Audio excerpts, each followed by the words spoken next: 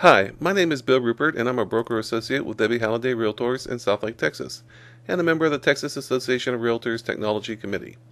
The committee is studying mobile technology for realtors. One aspect of that is the challenge of gathering signatures when you and your clients are far apart and far from fax machines and copiers. All you've got is a laptop and a connection to the internet. The Technology Committee agrees that one of the best solutions is to use the DocuSign e-signature product.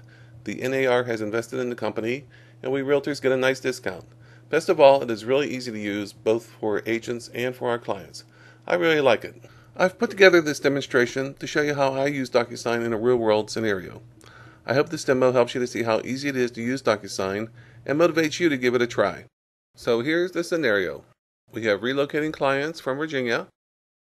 They just spent a few days in the area looking at homes. They had to go home before they were able to make a final decision. Now they're ready to make an offer. So we'll use zipForms and DocuSign to prepare their offer and submit it. All we need is our laptop and an internet connection. During the next few minutes, you'll see how to transfer documents from zipForm to DocuSign, as well as add extra documents like a seller's disclosure, prepare the contract forms and other documents for signing, send the documents to your clients for their e-signatures, check on the progress of the signing, and finally, create a PDF of the transaction to send to the listing agent. Plus, we'll take a look at how a client goes about signing the document. And here we are in zipForms. There are three forms. We have a 1 to 4 family contract, we have an HOA addendum, and we have a third party financing addendum. We're ready to send our forms to the DocuSign. We need the file menu to be showing. It's already up, so we can roll over and click on eSign. We click on Sign, and up pops all the forms in the transaction. Unselect any forms you don't want to send, and click on the Send for Signature button. Off they go. The DocuSign website is launched, and here are the forms in DocuSign ready for us to start working on. Let's look at some of the basics of DocuSign before we start getting the offer ready. This is the Prepare Envelope screen. An envelope is DocuSign's name for a bunch of documents that make up a signing package. At the top, we have the Send button to send the documents to the recipients. The Documents button lets us add and delete documents. The Recipients button lets us add recipients. And the Messaging button lets us give the package a name and write a message for all the recipients. Along the left, we have an icon for each page of the package. And on the right, we have different objects that can be dropped onto the forms, including those all important signatures and initials. Okay, let's start working on the offer package. An important feature of DocuSign is the ability to add many different kinds of documents to an envelope, including Word documents and PDF files.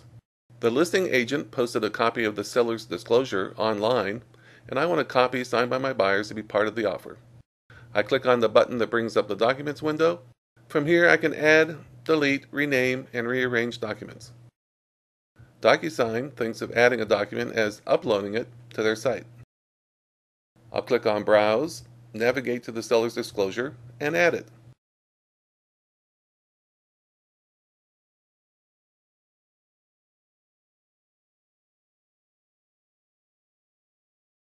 I also have a copy of the client's pre-approval letter, so I'll add that as well.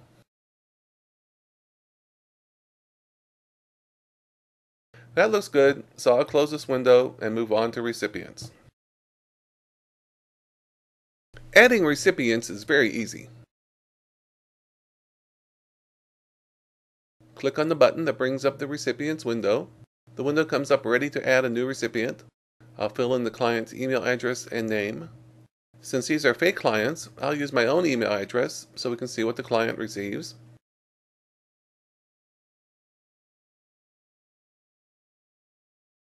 I can put in a little note that'll be only on Frank's email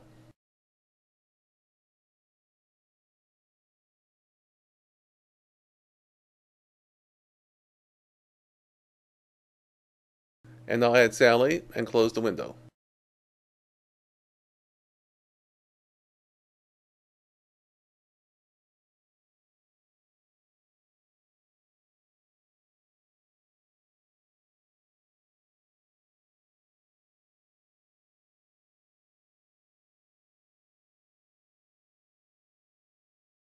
This looks great.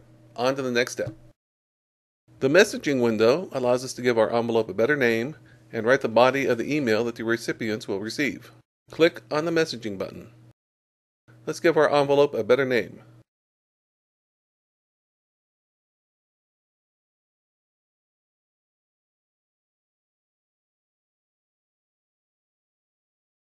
I'll write a little note that will be seen by all the recipients. And that's all there is to that. Close the window and we're ready to mark up the documents for initials and signatures. Now we will add markers to indicate where the recipients should initial or sign.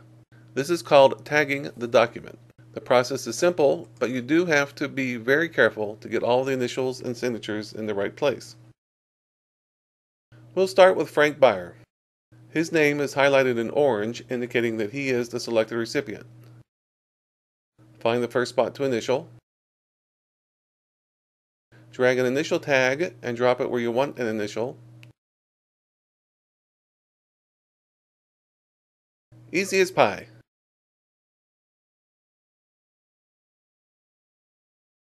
Now watching me do all the initials would be very tedious, so I'll skip ahead to the first signature. I'll drag and drop a signature tag.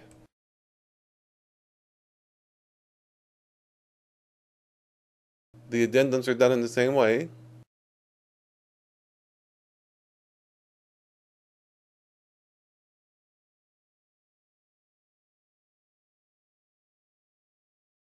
The seller's disclosure pages can be initialed in the same way.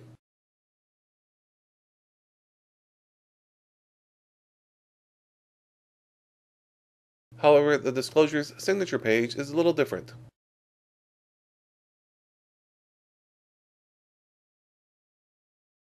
Besides the signature, we need to add a date sign tag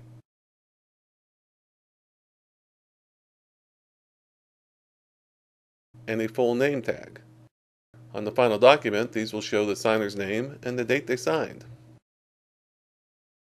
We don't need to do anything to the lender letter, it's just along for the ride. Let's return to the first page and select Sally. I'm going to do some of Sally's tagging without the yellow circle that was added to make it easy to follow the cursor. I want you to clearly see the yellow tab being dragged and dropped, and not be confused by the cursor highlight, which is not seen in DocuSign. And here is the last signature.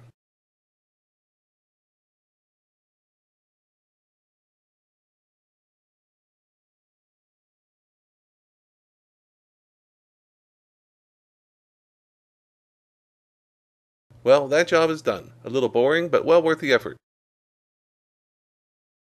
I've carefully reviewed the package to make sure I have the right person's tags in the right places. I'm happy with the package and I'm ready to send it to my clients. Click on the Send button and up pops a final review window. I'm afraid that the Send button is misnamed.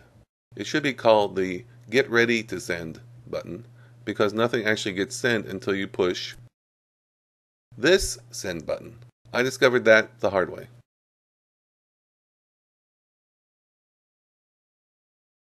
The documents are sent. Next, we go to the console where you can review and monitor all of your envelopes. The drafts folder is empty. Our envelope is now in the sent folder with a status of in process. We'll come back later to see if Frank and Sally have signed yet. Now we're ready to see what the client has to do to e-sign the offer. Here's the inbox with the email from DocuSign. I'm a member of the Cindy Ruppert team, so it shows as if sent by Cindy. This is Frank's email. The subject is the improved name we gave the package. Here's a message that we wrote that will be seen by everyone. And here's a special note that we wrote just for Frank. The instructions on what to do are straightforward. Let's click the review button and see what happens. The DocuSign website is launched. The client is asked to agree with certain legal provisions and is asked to adopt an electronic signature. After checking both boxes, Frank clicks on Continue. The documents are shown with a big Start button. Frank clicks the Start button and the form magically scrolls to the first initial. Frank clicks on that initial and the form scrolls down to the next one. And so on. We'll skip ahead and here we are at the last signature on the seller's disclosure. Now you can see what the signing date and full name tags look like on the completed document. That was the last place Frank needed to sign. He can review the documents or complete the signing. He clicks on Stay and Review.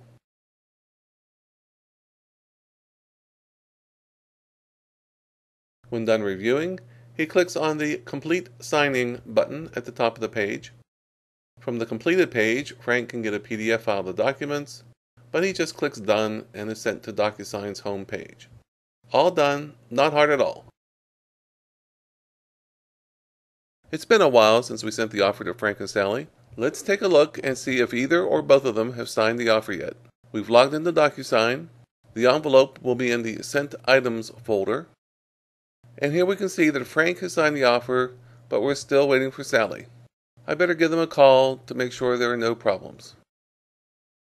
It turns out that Sally was just away from her computer for a while and completed the signing shortly after I called.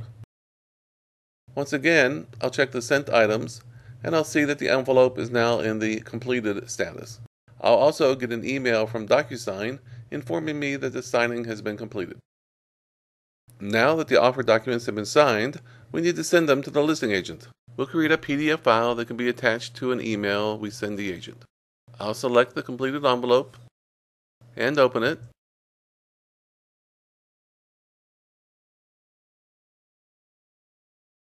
Click on the printable version button. We have several choices we can make. We can have a PDF file with all of the documents, or we can have any particular documents or all of the documents as individual PDF files inside a zip file.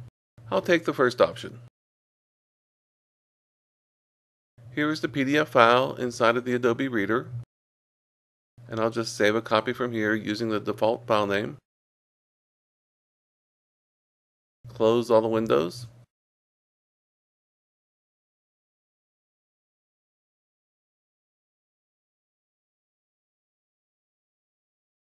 And we're done. The PDF file with the electronically signed offer is ready to be sent to the listing agent. Let's recap what we have seen. We transferred documents from zipForms to DocuSign and added other documents as well. We prepared the forms for signing by tagging them. We sent the documents to our clients, checked on the progress of the signing, and created a PDF of the transaction to send to the listing agent. And we also saw what the client has to do to sign the document. I was a little nervous about starting to use DocuSign, but once I got my feet wet, I really fell in love with it. I hope this demo motivates you to give it a try.